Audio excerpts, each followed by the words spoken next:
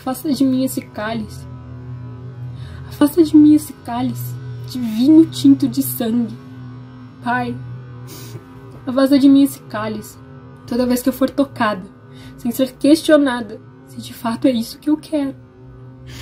Afasta de mim esse cálice toda vez que eu for humilhada por não ser aquilo que esperam. Afasta de mim esse cálice toda vez que a minha mente for violada, meu emocional massacrado e o meu corpo estuprado.